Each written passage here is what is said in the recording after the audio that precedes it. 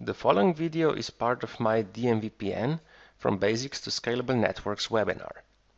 To learn more about my webinars, please visit my website. But let's start with phase one. As I said, on the spoke routers you have point-to-point -point GRE tunnels. On the hub router you have multi-point tunnel. And you could use default routing on spokes or anything else you like as long as the hub is the next hop. Data traffic flows only through the hub.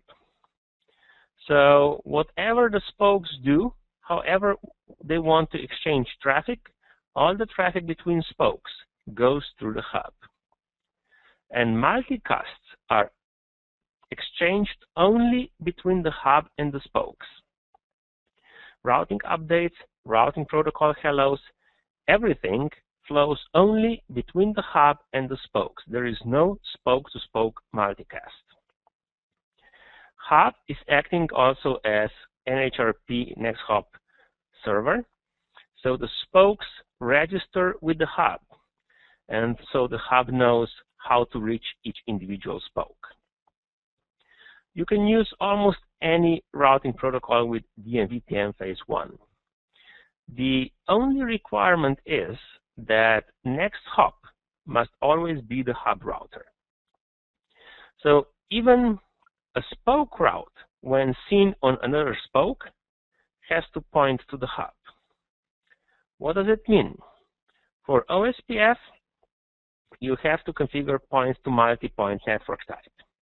For EIGRP, the only thing you might need to do is to disable split horizon. And for eBGP, you have to use next hop self. You'll see later on how exactly these things are configured. iBGP, by the way, does not work with DMVPN phase 1, at least not well.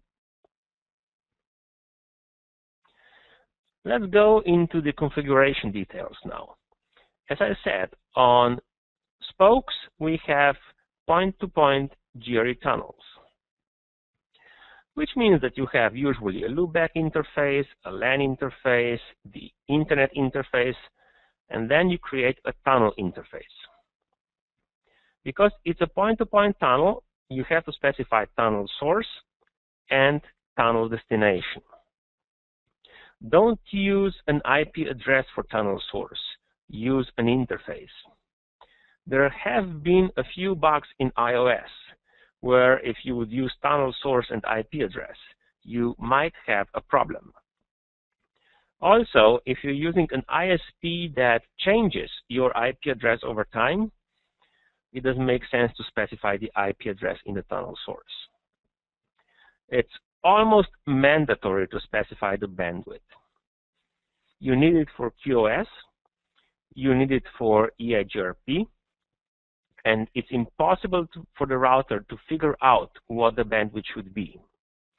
You have to specify it. You also have to set the IPMTU and IPTCP adjust MSS.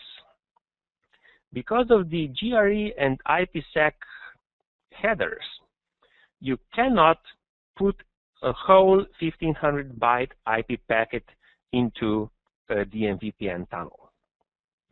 And if you start sending oversized packets into the tunnel, the router has to fragment either GRE or IPsec packets, and then the receiving router has huge problems because it cannot fast or CEF switch those packets anymore.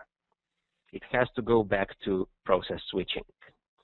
So to avoid the performance problems, set the MTU on the tunnel interface and to work around those people that misconfigure firewalls so that path MTU discovery doesn't work anymore, set IPTCP adjust MSS.